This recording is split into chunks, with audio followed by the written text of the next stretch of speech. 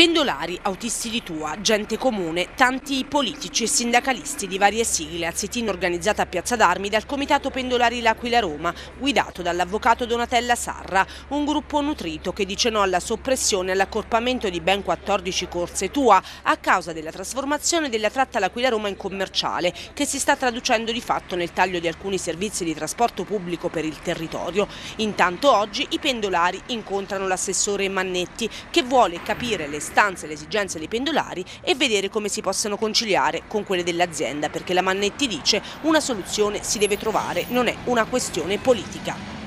L'avvocato Sarra ha ricordato che da oggi sono partiti i tagli e ha precisato che la battaglia viene fatta per tutta la città e che non si presterà mai a strumentalizzazioni politiche. In particolare incriminate le corse delle 4.30 e quelle delle 23, corse assolutamente necessarie. Tante persone così senza poter prendere alcune corse, ha detto l'avvocato Sarra, rischiano addirittura il posto di lavoro. Tantissimi i pendolari presenti e tantissimi anche i politici presenti, compreso il consigliere regionale Americo Di Benedetto, tanti consiglieri comunali, l'avvocato Mannetti, assessore comunale ai trasporti dell'Aquila, e anche la deputata Stefania Pezzopane. Una tratta che aveva origine da Giulianova, passava per Teramo e arrivava a Roma, una relazione sulla quale ci siamo battuti perché rimanesse dentro l'azienda pubblica e ci siamo battuti perché fosse contribuita e considerata servizio essenziale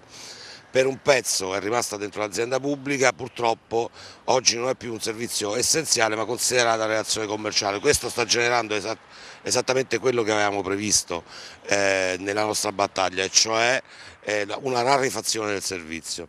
Ora, in questo senso noi pensiamo ci sia anche una contraddizione su tutto il progetto di organizzazione perché il presupposto che aveva portato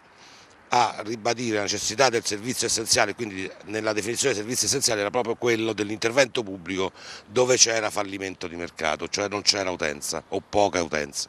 E qui invece si stanno esattamente tagliando quelle relazioni che impattano su più deboli, quelli con poca utenza, quelle poco appetibili al mercato. Noi pensiamo che questa è una condizione che vada ripresa, ritrovare contribuzione su quelle che sono esattamente i servizi essenziali.